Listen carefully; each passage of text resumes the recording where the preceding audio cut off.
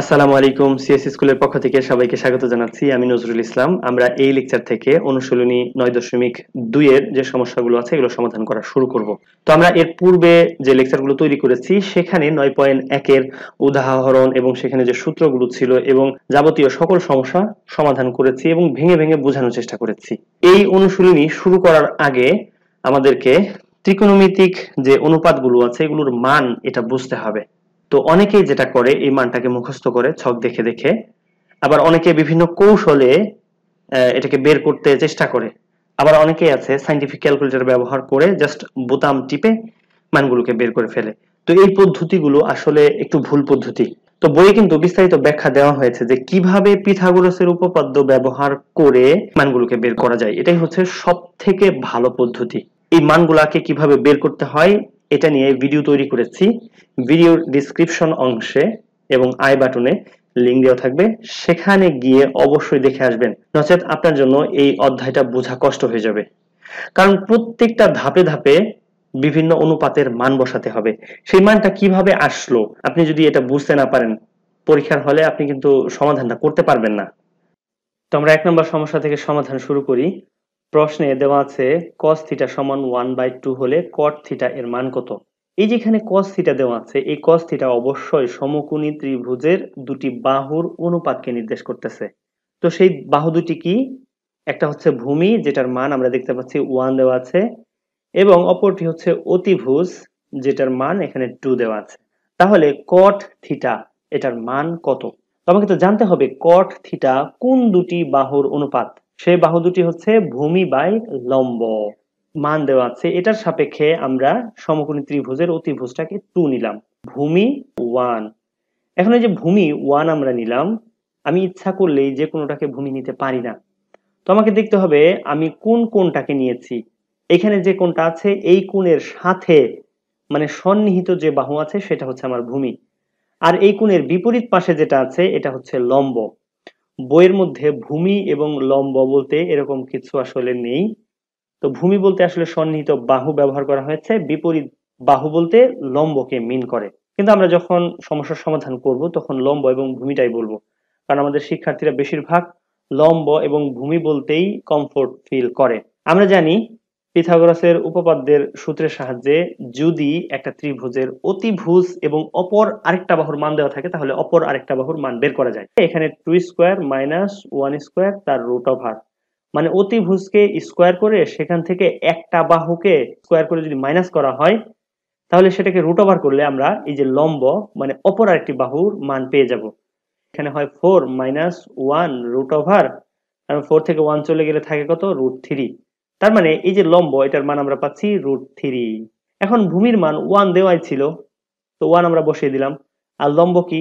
Root three তার মানে আমাদের সঠিক অ্যান্সার হবে ওয়ান বাই রুট থ্রি এরপরে দুইয়ে যেটা আছে cos square theta minus sine square theta সমান ওয়ান বাই থ্রি হলে cos square four theta minus sine square four theta এর মান কত? তো আমরা কসকে যদি সি ধরি, এটাকে এইভাবে লিখতে পারি না কস স্কোয়ার তার whole square minus sine square তার whole square A plus B into A minus বির সূত্র লিখে দিব। তার মানে এই যে ভেতরে সি স্কোয়ার এটা হচ্ছে এ এবং এই যে এসি স্কোয়ার এটা হচ্ছে আমাদের বি আমরা লিখতে পারি C square plus AC square into C square minus AC square sine square plus cos square বা cos square plus sine square এটার মান কত? ওয়ান আর এই যেখানে যে মানটা দেওয়া ছিল, গুণ ওয়ান বাই থ্রি তাহলে ওয়ানের সাথে ওয়ান বাই থ্রি যদি গুণ করা হয়, কত হবে? ওয়ান বাই থ্রি হবে।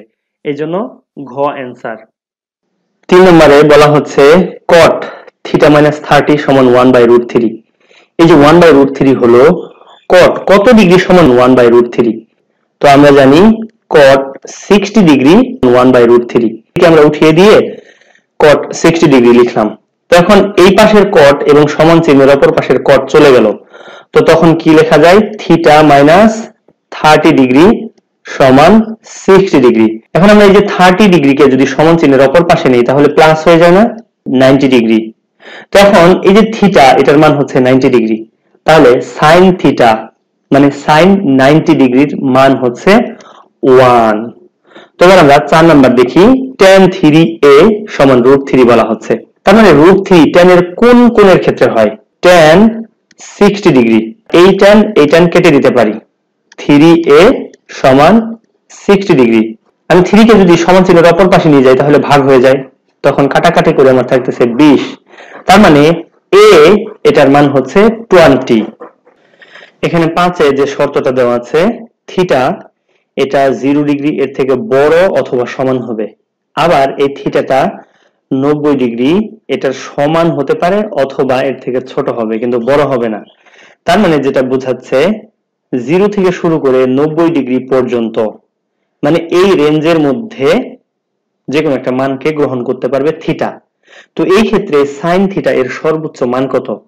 তো আমরা জানি সাইন নব্বই ডিগ্রি ওয়ান তার মানে এই যে নব্বই ডিগ্রি, এটা কিন্তু এই শর্তের সাথে যায়।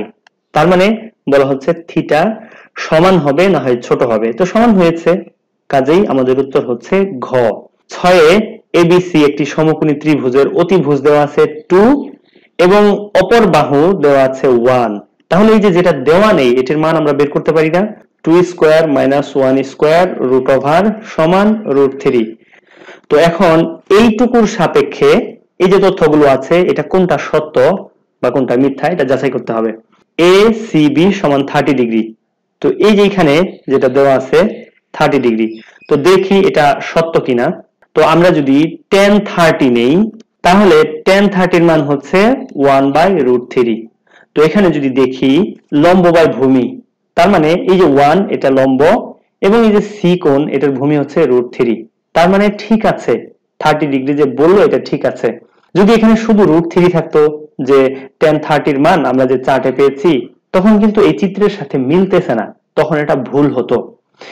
এবার বলা হচ্ছে টেন এ সমান রুট থ্রি তার মানে এই যে কোনটা আছে, এই কোনটা তো টেন মানে কি?